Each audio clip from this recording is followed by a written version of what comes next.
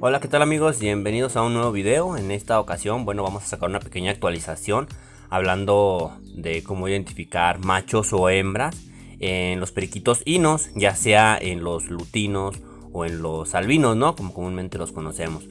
Eh, antes que nada, pues bueno, vamos a ver una pequeña introducción. Nosotros ya sabemos o ya conocemos que bueno, la mayoría de los machos en este caso pues van a tener eh, el serio de color azul como lo estamos observando, ¿no? Esto es en la mayoría de las mutaciones, aunque existen algunas que van a diferenciar un poco, eh, como es el caso en este caso de los sinos, ¿no? El cual pues lo vamos a, a estar viendo a lo largo del video y cuáles van a ser unas pequeñas diferencias en las cuales lo vamos a estar observando. Eh, ahora bien, eh, en las hembras el color pues más común o en el que pues, prácticamente no va a cambiar es este color que estamos observando, ¿no? Eh, el color marrón, en este caso de las hembras cuando están en celo. Esto es muy fácil identificarlos cuando son mutaciones pues básicas, ¿no? por ejemplo los periquitos comunes, los perlados que no tienen otra, mutación, algunos tipos de píos, por ejemplo el pío dominante podría ser similar también. Eh, entonces estas clases de mutaciones, las que son así, eh, casi casi por lo regular siempre las vamos a poder identificar, ya que pues nosotros eh, sabemos que este tono o esas tonalidades van de acuerdo a si es un macho o si es una hembra, ¿no? Pero entonces, ¿qué pasa? Bueno, pues pasa que en este caso en los sinos es un poco diferente, ya que eh, pues al perder un poco la melanina de todo su cuerpo, entonces también afecta un poco a lo que es el serio, en este caso eh, más a los machos que a las hembras. En las hembras en sí en sí, casi por lo regular, nunca eh, va a cambiar o va, vamos a tener siempre estas mismas tonalidades que vamos a ver a continuación. Por ejemplo, vamos a empezar ilustrando lo que son las hembras albinas. En este caso, en las primeras fotografías que estamos observando, la primera es una hembra joven, eh, prácticamente, eh, no pasa de a lo mejor de tres meses.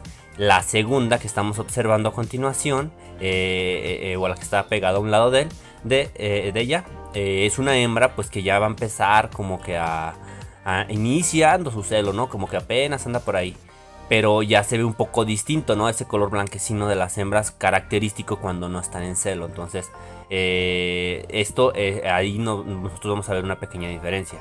Eh, que cuando van entrando en el celo. cuando va entrando en el celo, la siguiente foto que acaba de aparecer. Ya vemos un poco más marrón lo que es el celo de la hembra albina, ¿no? Entonces aquí hay una diferencia desde la hembra que está eh, pues mm, recién nacida o ya tiene de 1 a 3 meses a la hembra que ya entró a, su primer celo, ¿no? Que es después de los 6, de los 3 a 6 meses. Entonces aquí ya va a haber una pequeña diferencia entre, entre una y otra. Eh, ahora bien, eh, la siguiente fotografía que vamos a observar es cuando la hembra ya entró al celo por completo, que es un color marrón fuerte, subido de tono, ya que esta pues, pues ya está lista para, para criar, ¿no? obviamente este color se les puede poner a partir de los 6 meses, pero esto no quiere indicar que pues ya va a poder criar. Hay que esperarse hasta el año para que ya pueda criar. Entonces, toda esta tonalidad que vemos en estas fotografías, en estas primeras fotografías, son todas las hembras, la mayoría de las hembras la va a tener. Entonces, por eso es que a veces se confunde cuando son machos o hembras en los, en los albinos. En el caso de los machos, las fotografías que están en la parte inferior, eh, estamos viendo que pues bueno, un macho joven va a tener el serio un poquito eh, color lila, por ahí pegándole moradito, ¿no? Pero por lo regular siempre es lila o como comúnmente mencionamos, color chicle.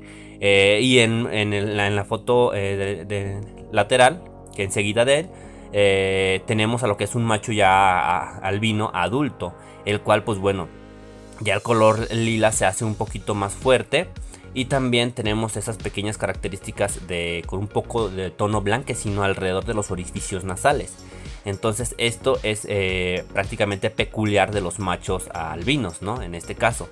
Y las diferencias en torno al color de un macho adulto a una hembra joven, eh, lo que estamos observando es la tonalidad. Eh, mientras que la hembra joven albina es o tiene su serio completamente, por así decirlo, blanco de un tono color hueso, por así llamarlo, en el macho albino adulto, pues bueno, el color lila que ya mencionamos, ¿no? pero no cubre todo, completamente todo el sello, sino que va a tener una ligera parte blanquecina alrededor de los orificios nasales. Eh, otra diferencia que podemos observar, pues bueno, también podría ser en el iris, ¿no? Eh, por ejemplo, si es un macho adulto, eh, va a tener el iris definido, siempre y cuando, pues bueno, este, no conlleve o no tenga otras mutaciones sumadas. Y en las hembras jóvenes, pues bueno, no las va a tener. O no lo va a tener todavía al 100% definido. Entonces podremos decir que es una hembra un poco joven y no confundirla con los machos, ¿no? Porque en sí en sí, pues no va a tener ni siquiera la tonalidad eh, morada distintiva de los machos de cualquier otra mutación. Igual por allá tengo un video sacando o hablando de, las, eh, de los serios de los periquitos eh, para que ustedes también lo puedan revisar y ver qué tonalidades tienen los periquitos cuando, recién, cuando son recién nacidos en distintas mutaciones. entonces, esto en sí, pues son eh, la mayor diferencia que va a tener eh, cada ejemplar, en este caso de en los albinos, ¿no? Hablando específicamente de esta mutación. Pero eh, lo que son los serios de las hembras prácticamente no van a cambiar siendo esta mutación o siendo a lo mejor los Lysewin, siendo a lo mejor los Follow, tampoco van, a, van a seguir siendo los, las mismas tonalidades. Este es algo peculiar de las hembras, entonces siempre van a tener este, este tono de pues de serio, ¿no? Desde que inicia o cuando son jóvenes hasta cuando van entrando a su primer celo, cuando eh, van a la mejor a la mitad o ya cuando están en cero al 100%. Y de igual forma a la viceversa, pues también se va a ir bajando el cero, el celo, perdón.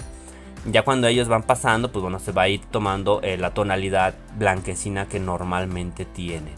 Entonces, esto es la forma más, más, más común de nosotros eh, identificar si una hembra, si más bien si un, albino es macho o es hembra.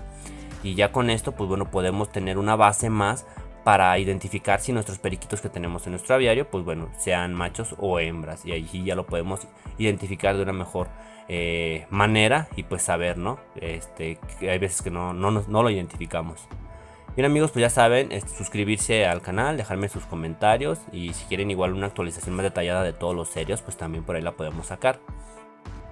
Ahora bien, es prácticamente lo mismo en los lutinos. Aquí como vemos, pues bueno, arriba en la parte superior pues tenemos a las hembras y en la parte inferior pues tenemos a los machos. Y prácticamente eh, son los mismos, las mismas tonalidades de serio que, vimos eh, con los albinos, ¿no?